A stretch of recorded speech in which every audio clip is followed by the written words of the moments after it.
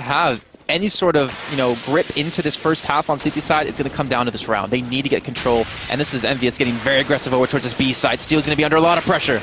Yeah, and they taught them this is, again, lessons learned. But boltz, it's just a straight spray down, trading kills. But Apex finally hunts him down, and it will be a man advantage now for Envy. They've got the bomb site. They're going to be able to get the bomb plant, and Happy even waiting for the push in. Fallen gets the spray shot anyway. What is... What? What, what was that? I... Okay, well, one-on-one, -on -one, but that... I don't even know what the hell that was.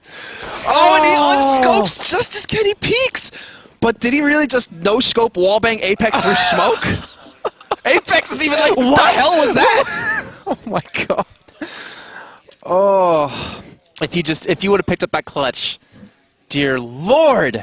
I...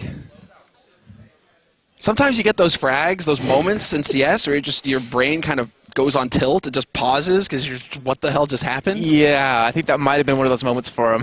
oh, wow. That was godlike. And well, there we go. Fair with the dig. Kenny with the wallbang headshot back. Okay then.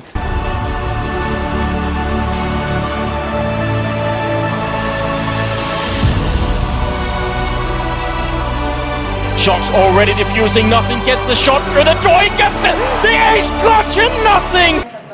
Det är världens bästa lag så man håller ju alltid koll och kollar liksom hur de spelar. Så försöker man ju, alltså inte, inte direkt sno deras spelstil sådär men man, man, man håller ju liksom koll på hur de spelar.